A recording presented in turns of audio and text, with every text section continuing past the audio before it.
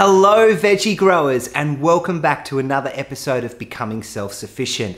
I'm Josh Davey, and today we'll be looking at a few rookie mistakes you might be making with your veggie patch and how you can avoid them to ensure you get the best growth.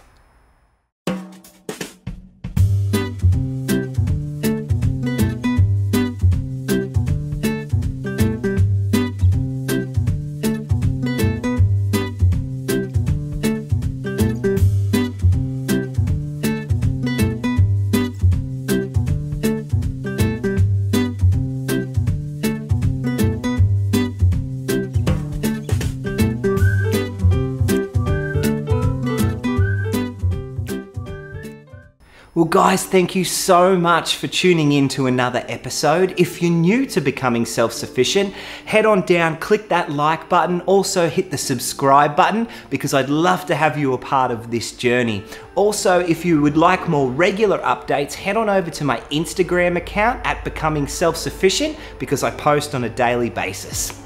Well, let's get into it, guys. And the first thing I want to talk about, and probably the most important rookie mistake a lot of vegetable growers make, is overwatering. Our plants want to survive, they want to thrive, and we want to take care of them. It's only natural. But a trap that we often fall into is watering too regularly. Now there's two ways we really should be watering our plants. If they're in pots, we want to water more regularly, but a lot less.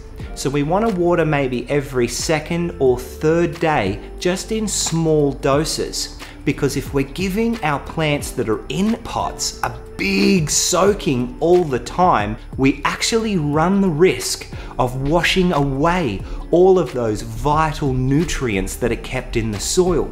So small amounts of water every few days is better recommended for vegetables growing in raised garden beds or in pots. The second way you want to water is if your vegetables are planted directly into the ground.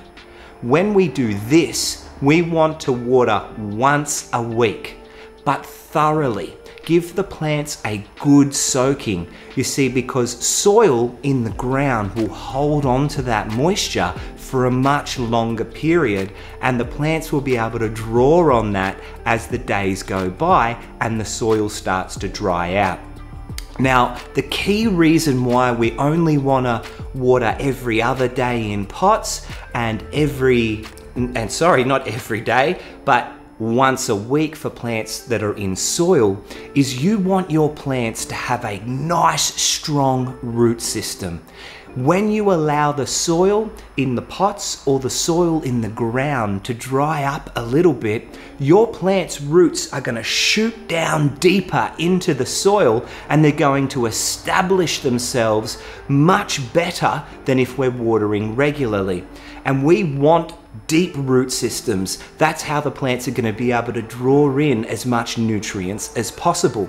If we're watering too regularly, the roots will stay shallow and at the top of the soil. And if we forget to water or we go away on holidays uh, or it's a super hot summer's day and the top of our soil all dries out, that's going to weaken our plants, it's going to cause stress, and they're not going to produce the crop that we want them to. So guys, be careful not to overwater. Now the second mistake I see all too often with rookie veggie growers is over pruning.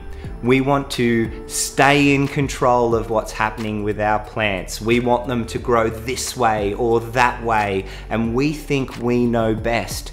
But the funny thing is, guys, Mother Nature knows best. These plants have taken millions of years to evolve into the beautiful powerhouses that they are today, and they don't need us telling them how to grow. Yes, we need to prune our plants to get optimal growth when we're looking at fruiting them or wanting vegetables to grow. Yes, there is a time and a place for it, but all too often at the start, guys, we jump in too early and we want to start chopping off limbs off plants uh, to inspire this growth or inspire that growth. But when plants are young, let them get established. Let them grow into all they can be and then go to town on your pruning and start creating the crop that you want to reap. Now guys, the third and final mistake I want to talk about that new veggie growers do, over fertilization. Again, like I said when we were talking, talking about watering the garden, these plants want to survive. They want to thrive. And we want to inspire new growth. We want to encourage growth. So as a new veggie grower, all too often I'll see people throwing on lots of fertilizer every week or so, whether it be liquid, whether it be uh, beads, whether it be organic material. Now, your plants need all of these things. There is absolutely no, no doubt that they need them. But what you need to realize is how often they need them. If we're fertilizing too often, there are a lot of plants in your vegetable garden that will actually bolt to seed.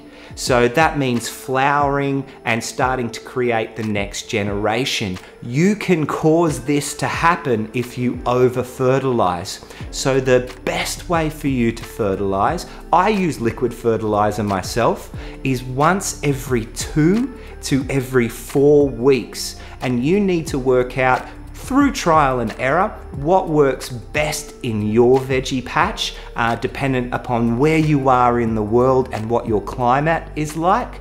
But fertilizing only needs to take place every two to four weeks.